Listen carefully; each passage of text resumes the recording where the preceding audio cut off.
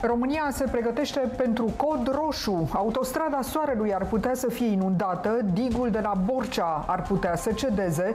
Nu e un scenariu de film apocaliptic. Problema e că previziunile meteo sunt mai sumbre decât cele anunțate inițial pentru sfârșitul acestei săptămâni, cu precădere pentru noaptea de duminică spre luni și ziua de luni.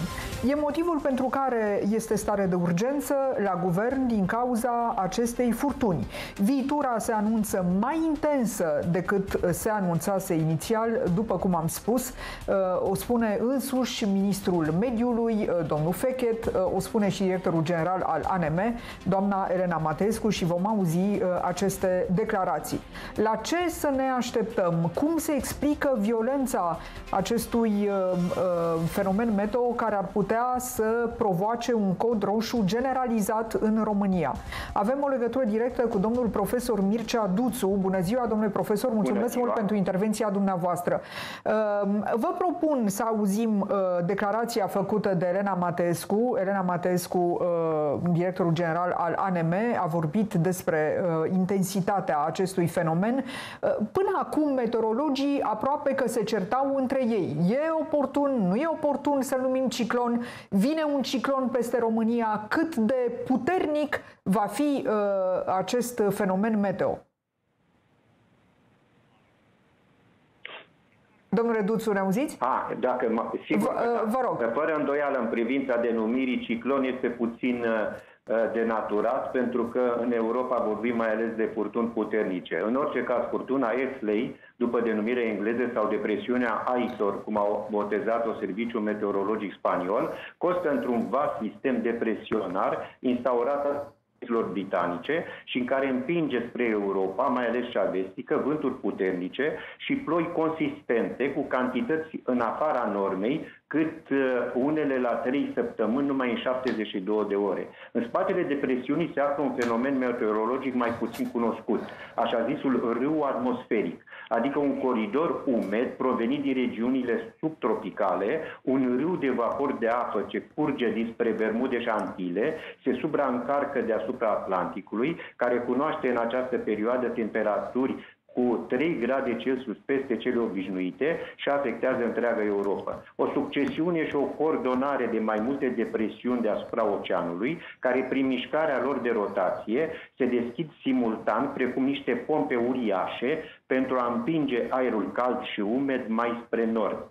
Suntem totodată și în prezența unui conflict important de mase de aer, aerul polar curs din Atlanticul de Nord spre insulele britanice, se întâlnește cu un flux din sud-vest alimentat de un aer mai cald, din sudul continentului, creându-se o altă rivieră atmosferică, adică o bandă strântă, dar care se multiplică, vorbindu-se în literatura occidentală de un rum expres, cu uh, sugestionarea uh, locului de origine al celebrei uh, cori. Ca atare, într-un climat mai cald, ne așteptăm la o sporire a precipitațiilor și o intensificare a episoadelor de ploi diluviene asociate în Europa, ori pe coasta de vest a Statelor Unite. Referitor la fenomenul concret, el este în, deplină, în plină desfășurare la nivelul Europei vestice, în Franța, de exemplu, unde se așteaptă la vânturi puternice, peste 100 de km pe oră și că scăderi de apă consistente, în unele locuri de 50 de litri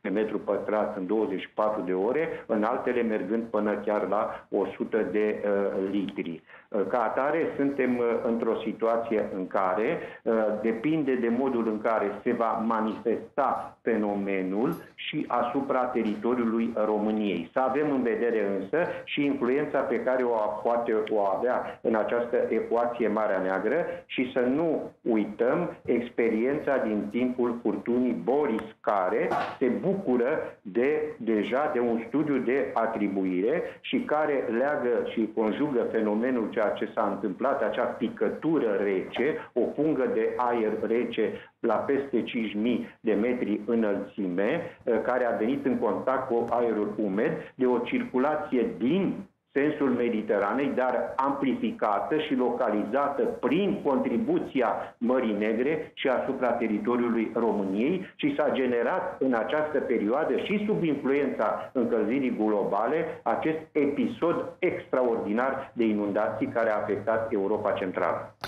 Sunt zile în care temperaturile sunt ridicate, 30 de grade, astăzi, de exemplu, la București. Are vreo legătură uh, căldura neobișnuită pentru această perioadă cu uh, violența fenomenului pe care îl așteptăm?